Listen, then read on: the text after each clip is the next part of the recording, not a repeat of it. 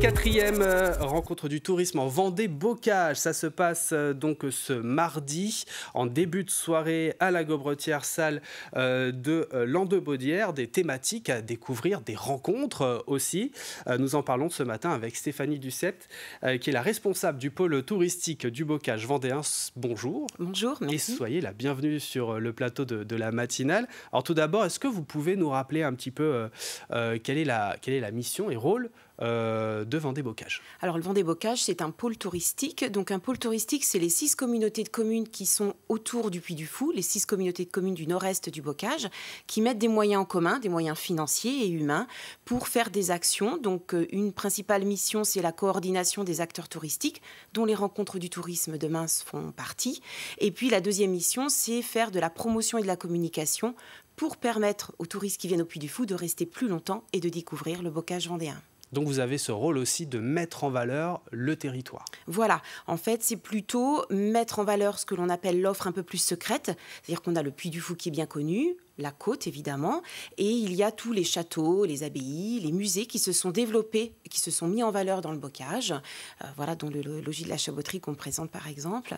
Et euh, il faut que l'on euh, permette aux visiteurs du Puy du Fou de les découvrir et de rester un peu plus longtemps sur le territoire. Alors, qu'est-ce que l'on va retrouver? Qu'est-ce que c'est que les rencontres du tourisme? Alors, les rencontres du tourisme, c'est un événement pro. c'est un événement qui permet aux sites touristiques, aux sites de visite, aux activités de loisirs, de rencontrer les propriétaires d'hébergement, parce qu'on s'est dit que les propriétaires d'hébergement, c'était eux les premiers ambassadeurs, c'est eux qui accueillent au petit déjeuner euh, les visiteurs ou quand ils remettent les clés du gîte, et c'est eux qui doivent bien connaître le territoire. Donc le but, c'est qu'ils apprennent à connaître les nouveautés, et puis euh, également tout ce qui peut se faire autour de chez eux. Donc les maîtres mots de ce temps fort, simplicité, efficacité, convivialité. L'objectif, donc, si j'ai bien compris, c'est apprendre à se connaître. Voilà, c'est hum, principalement l'objectif, voilà, c'est d'apprendre à se connaître dans un moment convivial. Les sites touristiques expliquent leurs nouveautés, expliquent ce que le touriste peut faire on prend un peu de documentation, on échange, on apprend à se connaître.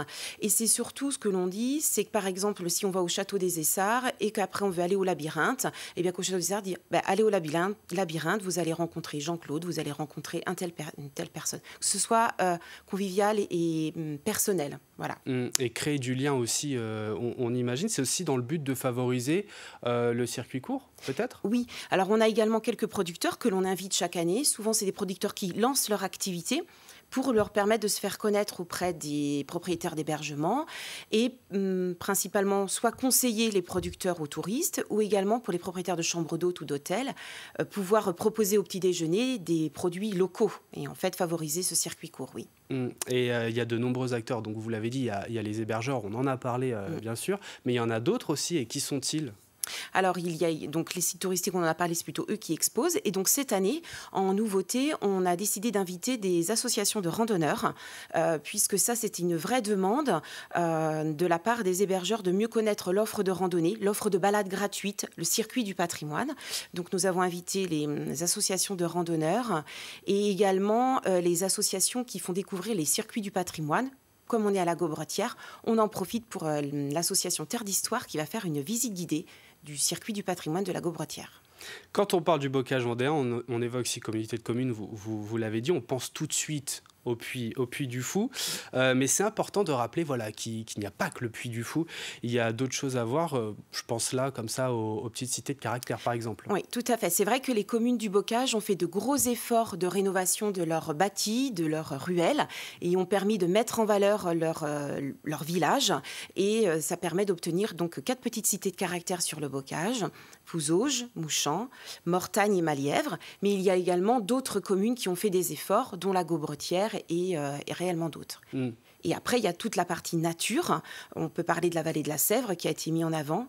Et également, dans ces dernières années, principalement suite au Covid, il y a eu beaucoup d'activités de loisirs qui se sont euh, mis en place. De la trottinette électrique, euh, il y a l'acrobranche.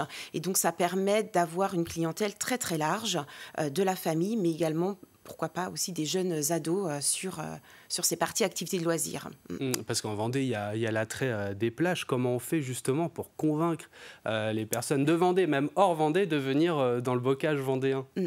Alors c'est vrai que le tourisme en Vendée, il est principalement balnéaire. À l'intérieur des terres, on a le côté marais Poitevin Et nous, dans le bocage, c'est le Puy du Fou qui attire principalement les touristes, mais également cette nature préservée, le côté calme, le côté euh, randonnée. Donc c'est ce qu'on essaye de mettre en valeur pour pouvoir permettre de rester un peu plus longtemps.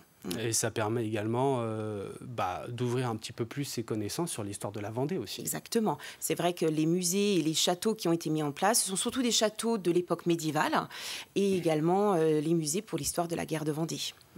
Qu'en est-il de l'emploi? Alors en ce moment, voilà, les hôtels, les campings, euh, restaurants sont en, plein, mm. en plein recrutement de saisonniers. comment ça se passe dans le bocage en ce moment? Alors, c'est vrai que euh, tout le monde essaye, comme, comme tous les secteurs, euh, ils ont des difficultés de recrutement. Donc, nous, on essaye principalement de mettre en liaison les professionnels du tourisme avec notre réseau. Et puis, on essaye aussi à notre niveau euh, dire, d'inciter, euh, c'est-à-dire qu'on va faire de la, des conférences, par exemple, dans des écoles, euh, voilà, pour permettre aux étudiants du tourisme de mieux connaître le monde de l'emploi. Et puis, pour les saisonniers qui vont être en place cet été, on va mettre en place une formation des saisonniers pour les saisonniers des sites et des offices de tourisme, puisqu'on se rend compte que souvent, les saisonniers qui arrivent, soit ce sont des personnes qui viennent travailler dans le bocage mais ne connaissent mmh. pas le bocage. Et ils ont besoin de mieux connaître le territoire pour mieux informer après les touristes qu'ils vont accueillir.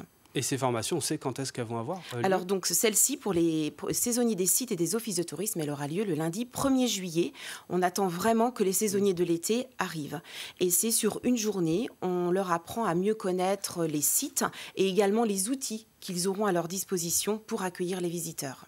Alors, si on n'est pas inscrit au quatrième euh, rencontre du tourisme euh, demain, est-ce que, est que si je suis, euh, par exemple, je ne sais pas, président d'une association, est-ce que je peux me rendre demain à la Gobretière Voilà, ça reste un événement pro, donc c'est plutôt des associations, des acteurs liés au tourisme, mais autrement, on accueille toute personne qui veut venir découvrir et surtout faire des rencontres professionnelles dans ce cadre-là.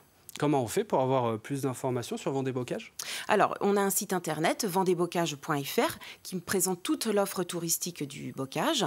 Et dans, cette, euh, dans ce site internet, on a un espace pro et on a également une page dédiée aux rencontres du tourisme, voilà, pour nous contacter. Et je rappelle que vous êtes la responsable du pôle touristique du Bocage vendéen et qu'il est organisé ce mardi. Les quatrièmes rencontres du tourisme Vendée Bocage, c'est donc de 17h à 20h euh, avec des rencontres au menu, euh, on l'a euh, évoqué. Merci beaucoup d'être venu sur le plateau de la matinale pour nous en parler.